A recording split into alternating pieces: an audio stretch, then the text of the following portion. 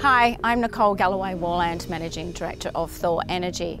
Today we're out at our Alford East Copper Rare Earth Project located on the Yorke Peninsula, South Australia. I'm pleased to announce that we have commenced our ambient noise tomography survey. This is in collaboration with Fleet Space Technologies uh, who will be doing the deployment of the surveys.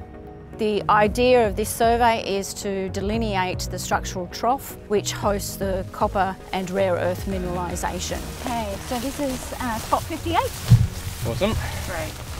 So today we're obviously deploying um, some instruments, some geodes into the ground. These are buried about um, 20 centimetres into the ground and they measure the natural vibrations in the earth. So um, wind, traffic, um, wave action, um, and these all give a different signature through the different rock types.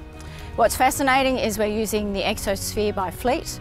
Um, so these geodes talk in real time to Fleet's satellites, um, and so we'll be able to monitor the data as it's coming in in real time. The surveys themselves will take approximately three to four weeks.